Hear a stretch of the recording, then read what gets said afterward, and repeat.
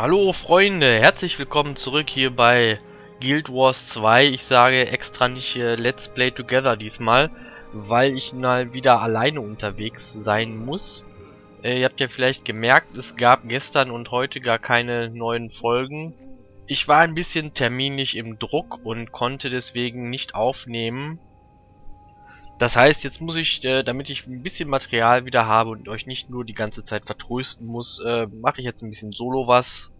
Ich habe ja auch noch was zu tun und zwar muss ich questmäßig hier mit äh, Gigs reden, um meine Sachen mal komplett abzuschließen. Und dann mal sehen, was ich noch äh, so hinkriege für euch, damit ihr euch nicht so langweilt ohne mich. So, jetzt muss ich mal eben ganz kurz hier noch was einstellen. So, jetzt geht's los. Wo muss ich denn überhaupt hin? Äh... Ach ja, zur Abtei, genau.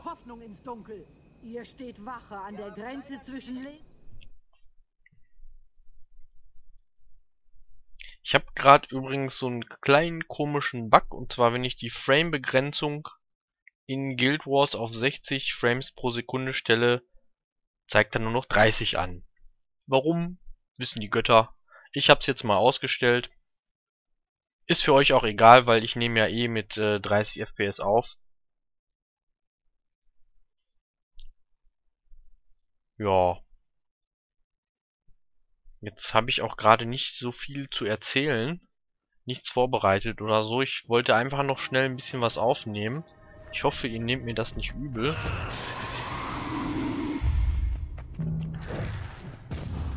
Ja, der eine oder andere hat vielleicht gemerkt, äh, ich nehme auch äh, Aliens Colonial Marines auf. Und äh, wie ich auch schon erklärt habe, das ist einfach so, da kann ich zwischendurch auch mal solo irgendwas machen für ein paar Minuten, schnell mal eine Folge äh, spielen, quasi so wie jetzt hier. Und das kann ich natürlich im Let's Play Together äh, höchstens ausnahmsweise mal machen. Weil ich natürlich nicht immer die Leute auf Kommando bereitstehen habe, dann, dass ich nur sagen brauche, hey, ich will jetzt aufnehmen, kommt alle. Und die schreien alle, juhu, darauf haben wir die ganze Zeit gewartet. Nein, so funktioniert das leider nicht.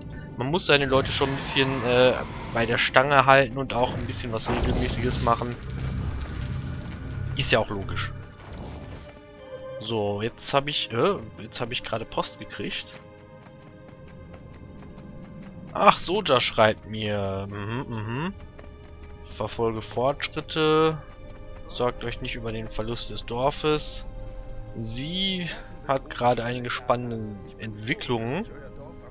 Mhm, mhm. also ihr könnt euch das ja in Ruhe durchlesen. Macht einfach äh, das Video auf Pause. Ich klicke das jetzt weg und quatsche mit meinem Freund und Chef Gix. Hallo Gix.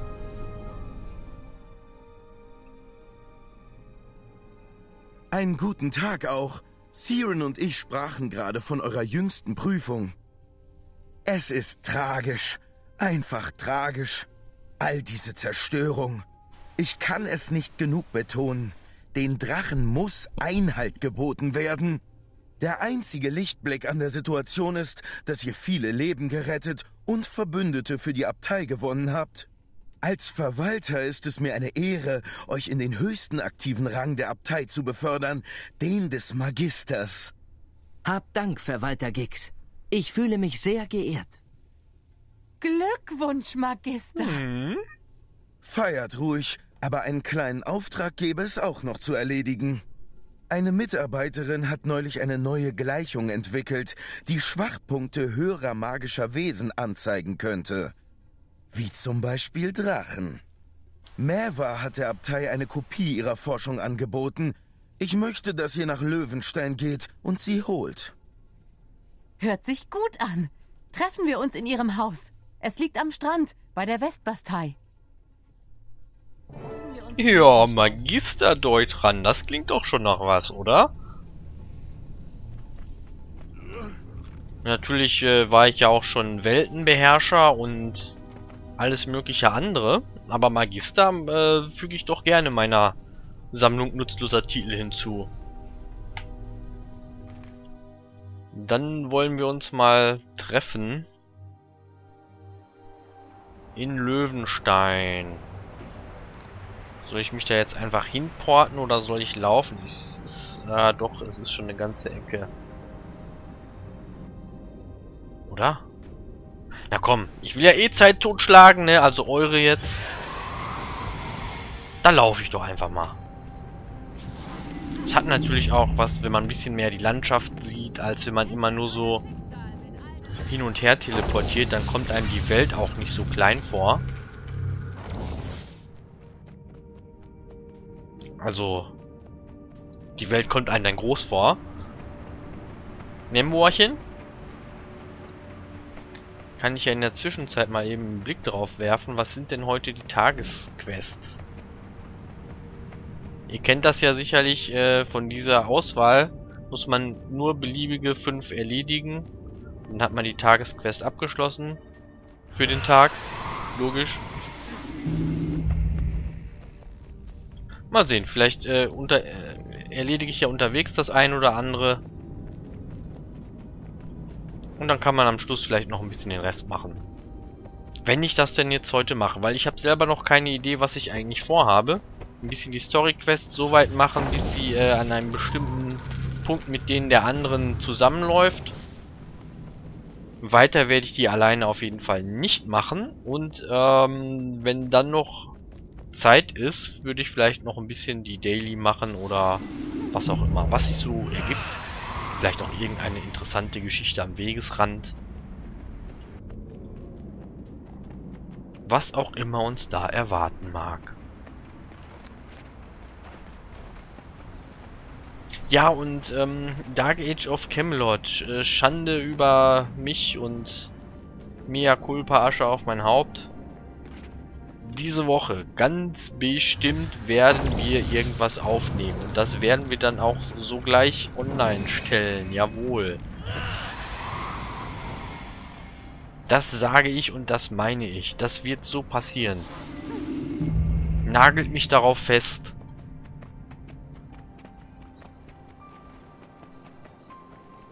Und möge ich in, in ewiger Schande dahin vegetieren, wenn ich mich nicht daran halte. Entschuldigung. Gucken mal, da sind hier noch noch... Ah, Moment, die, die Sehenswürdigkeit. Habe ich gerade im Augenwinkel gesehen. Die hole ich mir natürlich noch. Es geht nicht nur ums Aussehen. Farbe schützt auch das Holz. Es ist doch schon Farbe drauf. Ihr wollt ja nur eine andere Farbe. Sie blättert aber ab. Nein, tut sie nicht. Ja, das sind die großen Probleme in der Welt von Guild Wars 2. In welcher Farbe soll man eigentlich das Holz streichen? Wie wäre es zum Beispiel mit Holzfarben? Entschuldigung. Aber irgendwas muss ich euch ja erzählen. Sonst ist das so still. Ich bin das ja, wir machen ja meistens Let's Play Together. Ich bin das ja gar nicht gewohnt, so viel alleine immer zu quatschen. Ja gut, bei, bei Aliens, da kann ich quatschen, allerdings mache ich das da auch nur Nervosität ein wenig zu verdrängen. Weil ich bin ja der totale Alien-Fan, aber ich bin auch der totale Alien-Fürchter. Falls ihr das guckt, ist euch das vielleicht schon aufgefallen. Ah, da ist eine hübsche Sehenswürdigkeit. Kann ich die hier eben so en passant abgrabbeln? Wie komme ich denn dahin.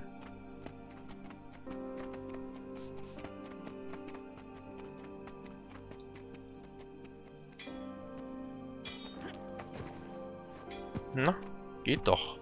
Geht doch, wie eine Bergziege.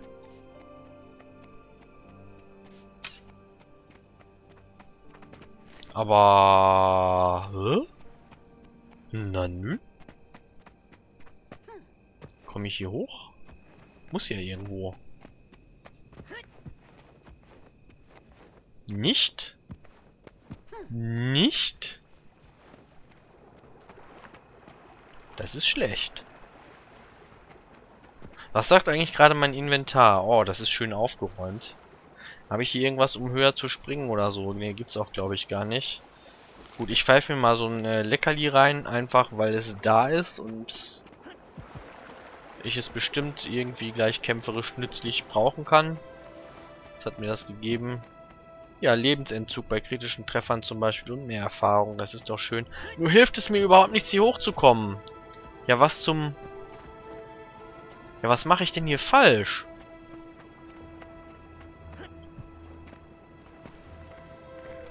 So kennt man mich doch gar nicht.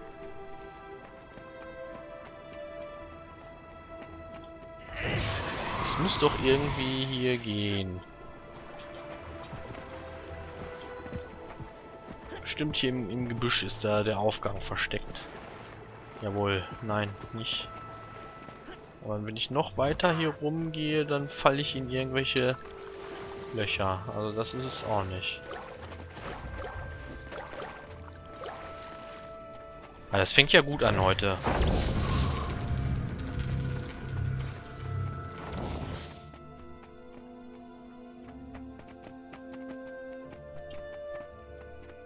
Aha.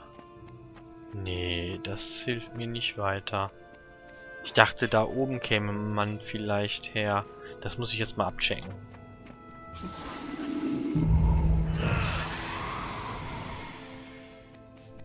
Oh, was zum Sammeln. Das muss ich immer mit. Ich brauche mal neues Sammelwerkzeug. Aber ich will ja immer das alte erst verbrauchen.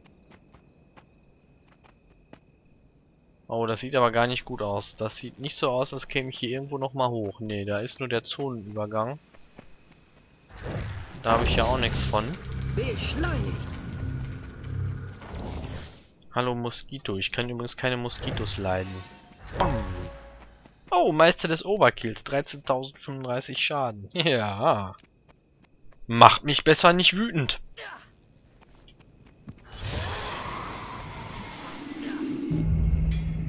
Aber der Lösung meines Problems war das jetzt immer noch nicht zuträglich.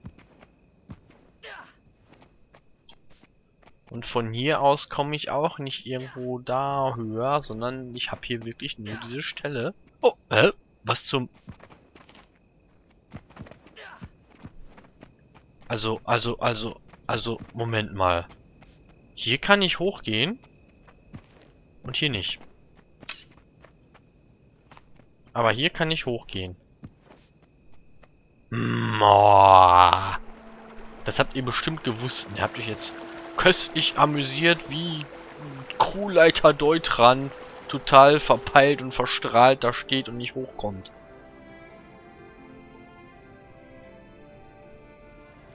Wenigstens lohnt sich die Aussicht. Ja, wenn man hier wohnt, da seine Villa stehen hat oder so, das macht schon was her.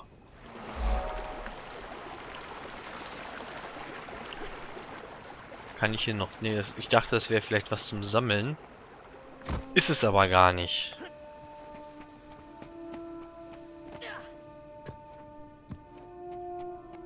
Ja, vielleicht habt ihr ja irgendwelche Ideen oder Wünsche, was ich mal machen kann, wenn ich das nächste Mal wieder Solo-Folgen aufnehmen muss. Damit ich nicht ganz so planlos und ziellos äh, durch die Gegend renne, ohne zu wissen, was ich eigentlich tun soll. Ohne meine Crew bin ich ja total aufgeschmissen. Und dann kann ich mir schon äh, direkt irgendwas Sinnvolles vornehmen, was euch dann auch Spaß macht. Oh, kann nochmal ernten. Ich weiß jetzt auch nicht, wie, wie viele Folgen das werden. Weil ich äh, habe die Hoffnung, dass wir vielleicht im Lauf der Wochen... Oh, Level Up, hey, cool. Dass wir vielleicht im Lauf der Woche nochmal ähm, äh, wirklich zusammenspielen können und dann auch was Vernünftiges machen. Ja, was soll ich jetzt hochziehen? Ich ziehe mal Arkane Macht hoch. Jawohl.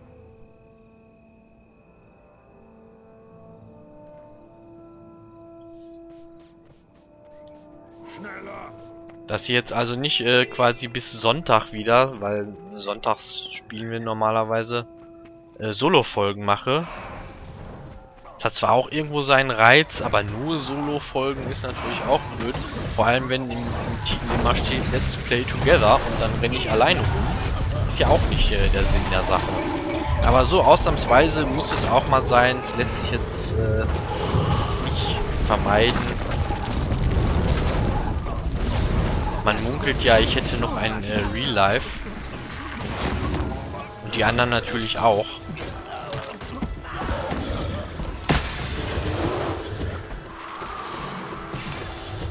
So, ich rotiere jetzt einfach in aller Seelenruhe durch meine Einstimmung. Bei Erde lege ich dann immer äh, einmal dieses AE-Feld mit dem Guten. Und äh, hier der Stoßwelle, die macht bewegungsunfähig und hat auch nochmal... Hat allerdings einen ziemlich langen Cooldown. Aber so oft dann auf einen zu stacken, so mit den anderen sind das hier äh, gerade beim 18 Stapel da ist natürlich... Äh, da brechen alle Dämme in den Arterien, sage ich jetzt mal.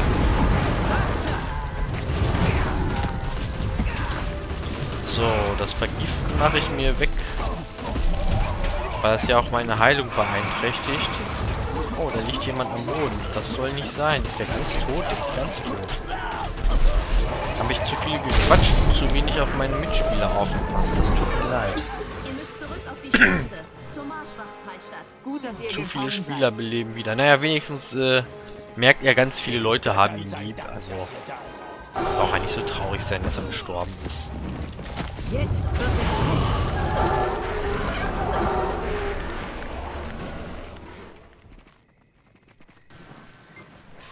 Mhm. Ohne Köder ist die Falle nutzlos.